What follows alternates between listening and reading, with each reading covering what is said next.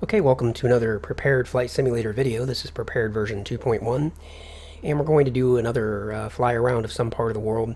We're going to use the Cessna, though, not the Raptor, and that is because this request came from the Michael Superfan. He says, hey, thanks for another cool video. Doing a Cessna flight in Yosemite might be cool. You might want to check how it looks. Could be super boring. And he says, also, I was wondering which flight simulator you thought was best and why. Last question, what's the fan page? I couldn't find anything while searching. Uh, quickly, the fan page is uh, facebook.com forward slash orbiter spaceflight simulator. I'll put a link to that in the description down below. And as far as uh, which flight sim I think is best, uh, maybe I'll talk about that a little bit here during this fly around. Um, I did a Google search to find out where we could go to get an airport for Yosemite, and uh, Yosemite National Park is in California. And I didn't really see anything here. It just says uh, FAT MCE, so I wasn't sure which one of these I needed. So I went to Wikipedia and did a search for Yosemite International Airport, found this, and I found that KFAT actually works in the simulator. So that's where we are at. We are at Kilo Foxtrot Alpha Tango, I believe. Let me start the stopwatch because when I'm inside of uh, Prepar3D, I can't see my second monitor. It blacks it out and I can't tell how far I am in the video. So let me turn off the menu bar again. I've got to right click and do that twice. Hopefully that'll get it arrest at some point. Uh, let's go full power, take off, and have a look around. And we do not know, apparently, if this is going to be a great... Oh my gosh, I can't believe how much some of these planes pull. And we don't know if this is going to be a really good fly around or not, because the guy commented, said it could be super boring. So we're just going to find out. Let's take a look. And boy, I just I just don't even know how realistic that could possibly be for have to have a plane take off, get 10 feet down the runway, and then just immediately like do a 90 degree turn to the left. It seems like that can't possibly be right, but maybe I'm wrong. I'm not a real pilot, so what do I know? All right, let's uh, check our elevator trim. It's working. And I get, I suppose that he suggested the Cessna just because it's a slower moving craft and we could, um, you know, maybe take a look at things a little bit slower. So we'll see how that works out. So we are at Yosemite National Airport, but as far as where the park is at, uh, from here, I don't know. This is obviously some city of some kind, and it's not even like a like a podunk type of city. It's got a little bit some buildings to it. I have actually been to Yosemite National Park, believe it or not, but it was a long time ago. I was a wee little boy. Long enough that I really don't have any conscious memories of it. Um, said another video when you know when I was younger, my family kind of traveled all over the place out west. I've been to the been to Redstone, uh, Redwood National Forest, uh, Yosemite, Yellowstone, Glacier National Park in Montana. Been up into been up into Canada, but we didn't do much up there. We just kind of went up above the border, looked around. I think we were in Quebec, Alberta. And I don't really remember much about Canada other than just kind of doing it. So, hmm, where is the park? I guess that's probably something I should have thought to look for before I started doing this. Let's go over that way. Some mountains over there. One thing I do like about like Cessnas and these smaller crafts is they're not so hypersensitive. And I guess maybe maybe if you got really used to, used to flying something like the Raptor, then these types of planes would feel like they were dead, like they don't move. But when you get used to flying these kinds of planes in a flight simulator, and then you go fly the Raptor and you touch the, the you touch the the control stick and it's just like whoo, you know flies across the sky. It's like wow that can't be healthy. So you can see we're climbing a little bit as we're turning here. And yeah we'll just kind of fly over towards the mountains and see what we see and if it turns out that there's nothing cool or obvious, then, well, that's just how it's going to have to be.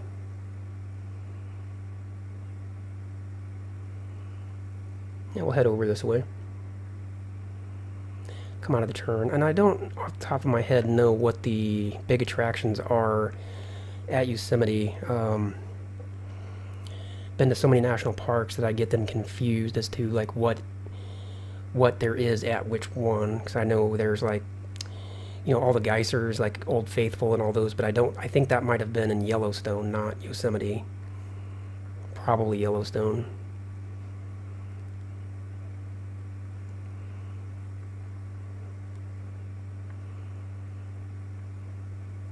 I do kind of remember going to that national park, the one that had all the geysers and it was like all this. Uh, there's they had the, the, this wooden you know boardwalk set up where you could walk around the whole area, and uh, there's like all this like sulfuric sulfuric smell everywhere because of the the earth is you know alive basically at these areas, and it's just gushing up all this stuff, all this all this hot hot gases and hot water coming up out of the ground. And there's just lots of, uh, what do you call it, like limestone, I guess, that's, you know, just everywhere you look, just everything's covered in like glassy looking limestone or, or stalagmites or stalagmatites, whatever those things are called. And I guess those things take long, a long time to build up. Although I saw this one video, this guy did that was really interesting. He made a stalagmite. I think it's, I don't, I forget if the stalagmite or the stalagmatite, which one of them comes from the top, one of them comes up from the ground. But this one guy made one in his backyard in like 30 days. It's really interesting.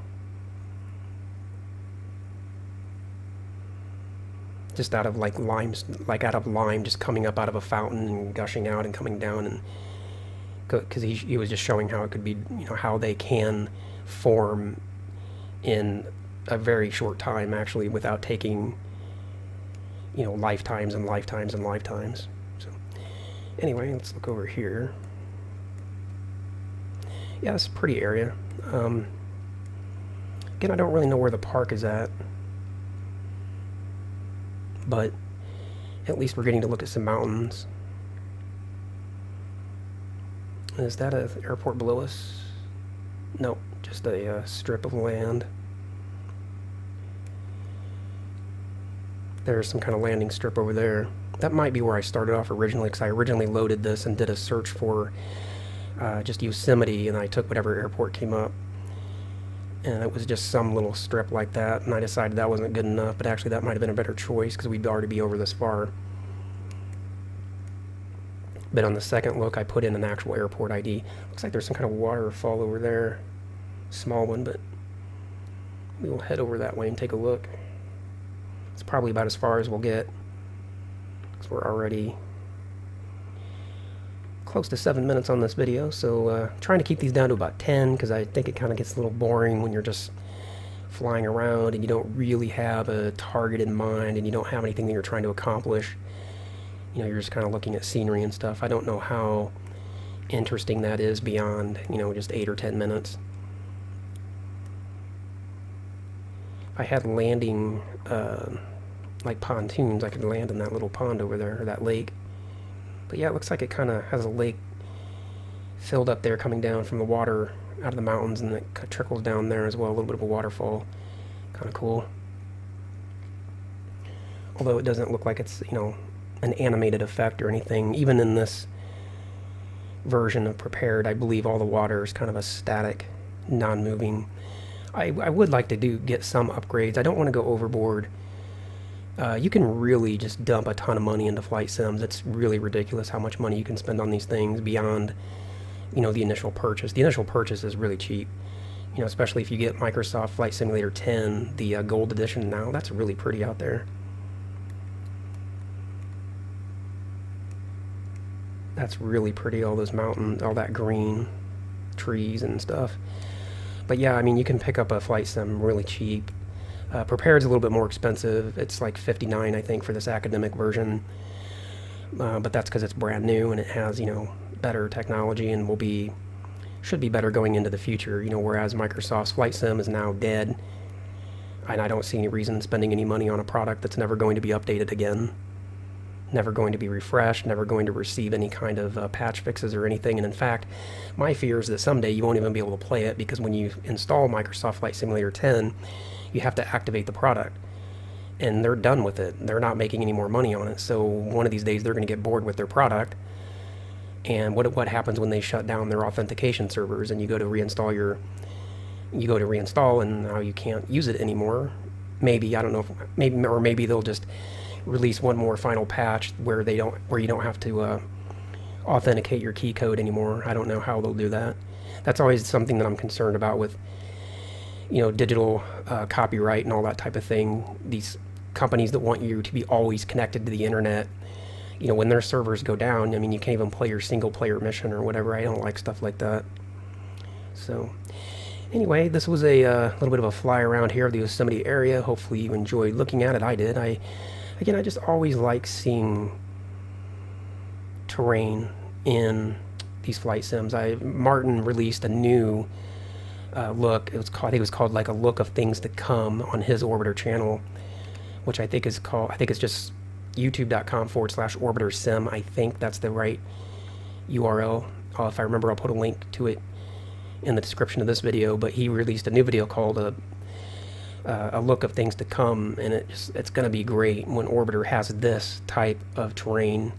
It may not be quite this sophisticated because Orbiter is a free product, and he can't, you know, obviously spend how much ever money it costs to buy rights for really high quality terrain maps and all that. But I think a lot of that stuff is free, free through various uh, various avenues. You know, NASA or some weather sites or something. I think they have various terrain mapping data that you can get, and it's and it's free, but it's still up to you, I think, to provide all the the coverage of that of that mapping. So, but still, what he posted on that video was really cool looking, and it's going to make Orbiter way better. Mainly, I think, for moon landings, like going to the moon or even other moons in the solar system. Although I don't know how that's going to work if you have to have different terrain maps. Probably you have to have different terrain maps for all the different moons. So I don't know, but at least hopefully for the Earth and the moon itself, it will be a big improvement because it's just it's just it's fun to play with orbiter and land on the moon, but it'll be way cooler when you go to the moon and you have to worry about, you know, if I lower my altitude too much, I might run into a cavern wall or I might run into a, a hillside. That's going to be a lot of fun. So, all right, well, we're well past uh, 10 minutes here, so I'm going to go ahead and close out. If you liked this little fly around of Yosemite, leave a comment down below. Let me know what you thought. Uh, if I completely missed uh, the, the, the park altogether and let me know. Maybe I'll do a, a, revision of this flight. But I think this is pretty good. At least we got to see the area. We got to see the mountains. So it gives you a good feel for what it looks like out this way. And yeah, that's it. So I will see you in the next video. Of uh, Prepar3D, I can't see my second monitor. It blacks it out. And I can't tell how far I am in the video. So let me turn off the menu bar again. I've got to right click and do that twice. Hopefully that'll get it addressed at some point. Uh, let's go full power, take off, and have a look around. And we do not know, apparently, if this is going to be a great... Oh my gosh, I can't believe how much some of these planes pull. And we don't know if this is going to be a really good fly around or not, because the guy commented, said... Okay, welcome to another Prepar3D Flight Simulator video. This is Prepar3D version 2.1 and we're going to do another uh, fly around of some part of the world. We're going to use the Cessna though, not the Raptor, and that is because this request came from the Michael Superfan. He says, hey, thanks for another cool video. Doing a Cessna flight in Yosemite might be cool. You might want to check how it looks. Could be super boring. And he says, also, I was wondering which flight simulator you thought was best and why. Last question, what's the fan page? I couldn't find anything while searching. Uh, quickly, the fan page is uh, facebook.com forward slash orbiter spaceflight simulator. I'll put a link to that in the description down below. And as far as uh, which flight sim I think is best, uh, maybe I'll talk about that a little bit here during this fly around. Um, I did a Google search to find out where we could go to get an airport for Yosemite, and uh, Yosemite National Park is and could be super boring, so we're just going to find out. Let's take a look. And boy, I just I just don't even know how realistic that could possibly be for have to have a plane take off, get 10 feet down the runway, and then just immediately like do a 90 degree turn to the left. It seems like that can't possibly be right, but maybe I'm wrong. I'm not a real pilot, so what do I know? All right, let's uh, check our elevator trim. It's working. And California, and I didn't really see anything here. It just says uh, FAT MCE, so I wasn't sure which one of these I needed. So I went to Wikipedia and did a search for Yosemite International Airport, found this, and I found that KFAT actually works in the simulator. So that's where we are at. We are at Kilo Foxtrot Alpha Tango, I believe. Let me start the stopwatch because when I'm inside,